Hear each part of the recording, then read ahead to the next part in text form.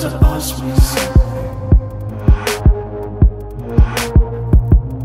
can tell you so much.